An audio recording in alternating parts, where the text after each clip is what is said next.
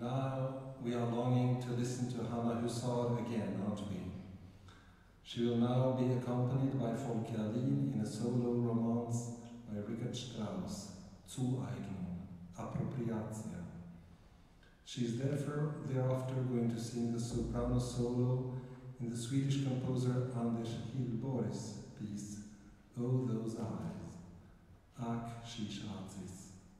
Ladies and gentlemen, Folke Alin and Hanna Husáhr.